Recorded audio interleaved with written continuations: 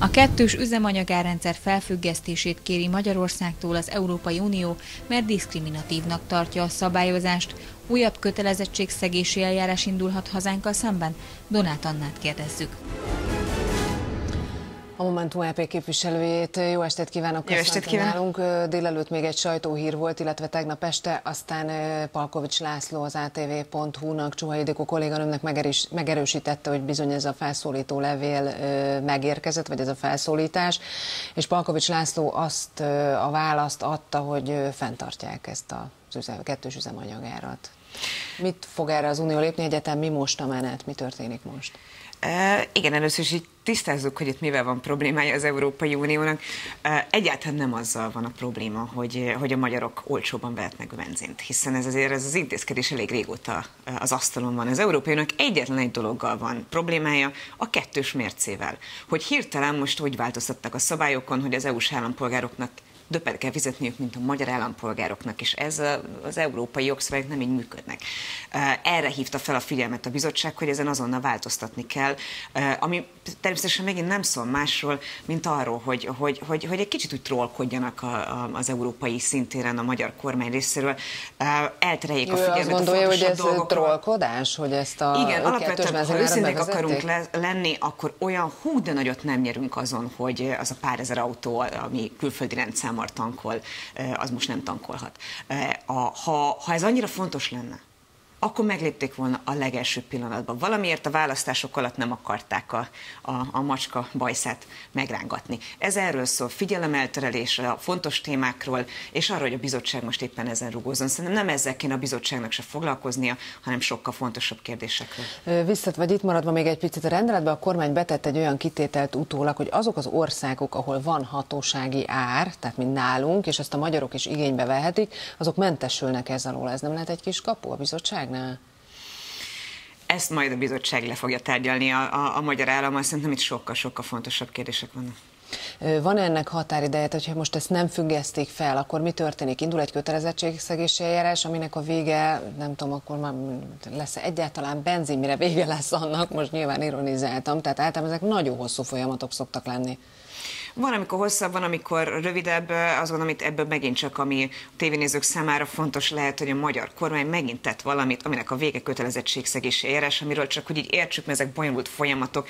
A végén ennek általában pénzbüntetés a vége, amit honnan fognak kifizetni, hanem a közös kasszából, ami a mi pénzünk. Tehát, hogy ez nagyon-nagyon nem jó, amikor a magyar kormány erőfitoktat, aminek a vége egy kötelezettségszegési eljárás. Tehát itt most, ha a magyar emberek érdekében dolgozna Orbán Viktor, akkor, akkor nem ráncigálna, mondom, a macskának a bajszát, hanem sokkal inkább azon dolgozna, hogy európai szinten megállítsuk a, az üzemanyag drágulást, hogy, hogy minél hamarabb a zöld átállásra annak a nyertesei legyünk, nem a gátolói, és, és akkor folyamatosan azt mondják, azt mondja a miniszterelnök, hogy nem, nem gátolja meg, meg Hernádi Zsolt is azt mondta, hogy éppen a magyar miniszterelnök között azért, hogy az olajembargot úgy fogadják el, hogy végül elfogadták, és a vezetékes kőolajra ne vonatkozzon, mert hogyha vonatkozott volna, akkor most körülbelül egekben lenne lenne a benzinár. Igen, természetesen erősben beszéltünk, hogy beállítják hatalmas nyereménynek azt, ami már három héttel korábban is ott volt az asztalon, ettől függetlenül igen, nyilván ha az olajembargót úgy fogadták volna el, hogy, hogy, hogy nincs benne kitétel Magyarország számára, akkor ebben az esetben azt a magyaroknak nagyon-nagyon fájt volna, és azt gondoljuk, hogy üdvözölendő, hogy a magyar miniszterelnök a magyarok érdekeit védi, emi a dicséret pluszban nem jár neki, főleg azért, hiszen az utolsó pillanatban mondva csinált okokból megint csak vétózza ugyanezt a szankciós csomagot, úgyhogy ezért nézzük meg, hogy annak mi lesz a vége. Teljesen másik dolog, nem szavazták meg az Európai Klímacsomag legfontosabb elemeit tegnap az EP-ben. Ő még a szavazás előtt azt írta, hogy ez egy történelmi jelentőségű szavazás lesz, és a csomag is az. Most megy vissza a bizottsághoz, ha jól tudom. Mi bukott el ez a csomag? Őszinte leszek, nem volt elég zöld. Tehát ezek nagyon-nagyon technikai dolgok, mert tényleg nem mutatnám a, a, a, tele, a tele, tele, televízió nézőket. Bocsánat, nagyon hosszú Strasburgi hét volt, pontosan nem ilyen. Ez a zöld csomag, a zöld átállásról szóló javaslatcsomag első fele volt az asztalon. Történelmi, mert ugyan nagyon technikai dolgokról beszélünk, de ezt hétköznapi szinten érezni fogjuk a bőrünkön. És ezért nem mindegy, hogy milyen szöveget fogadunk el, milyen jogszabály lesz belőle. Azért, én azért szavaztam le, illetve mi azért szavaztunk szavaztuk le ezt a kezdeményezést, vagy ezt a törvénycsomagot most, majd ennek ezt a részét, mert alapvetően a nagyipari lobby annyira fel, felhigította, ami hosszú hosszú távon egyáltalán nem a zöld átállás segítette volna. Pedig azt gondoljuk, ez egy nagyon-nagyon fontos csomag, de ne értsék félre a tévénézők, két hét múlva újra plenárison lesz. Ez nagyon-nagyon fontos, hogy minél hamarabb átmenjen, de nem Most mindegy, átdolgoz a bizottság, és utána... Visszakerült szakbizottsági szintre, úgyhogy a parlamentnél van, lesz egy következő úgynevezett mini plenáris, egy mini ülés két hét múlva, ahol újra az asztalon lesz. De ez is mutatja, hogy egy mennyire nehézkesen megy ez a folyamat, hogy a, a zöld kérdés az nagyon fontos, politikai figyelem irányul rá, de nem olyan könnyű ezeket a kompromisszumokat megkötni, és van az a kompromisszum, amit a saját, illetve gyermekeink jövőért nem szabad megkötnünk, mert a zöld kérdés létkérdés.